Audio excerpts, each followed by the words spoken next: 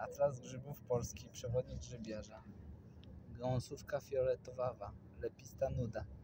Gąsówka fioletowawa to dobry grzyb jadalny, choć w Polsce prawie nieznany, bo nigdy nie było tradycji jego zbierania. Jego dużą zaletą jest to, że pojawia się licznie u schyłku jesieni, gdy inne grzyby się już kończą.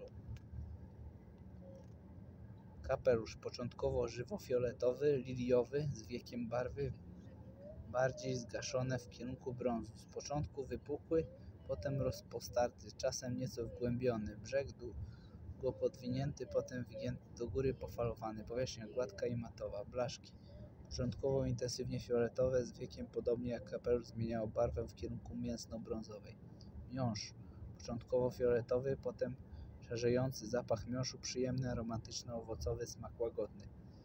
Fioletowy, wyrośnięty trzon, fioletowy z wyrośniętymi białymi włókienkami, z wiekiem blednie do szaro-białawego. Starsze owocniki tracą intensywną fioletowo-niebieską barwę, brązowieją, zwykle nie warto ich zbierać, ponieważ nie wyglądają apetycznie i często bywają zajęte przez larwy owadów.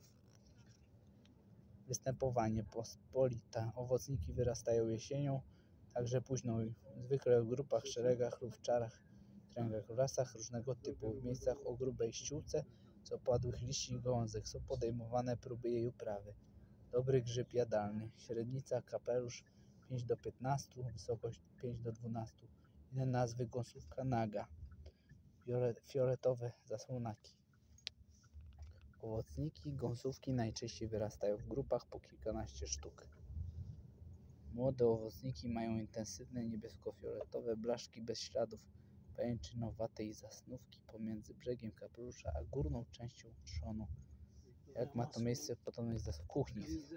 W porze, gdy wyrasta gąsówka naga, niewiele jest innych grzybów jadalnych. Zbioru można więc przyrządzać dania jednogatunkowe. Wykorzystuje się same kapelusze. Dobra jest gąsówka smażona na patelni. Sprawdza się też w zupach. Ciekawa jest marynata z młodych gąsówek. Zachowuje w niej fioletowo-niebieski kolor owocników. Z Bogiem.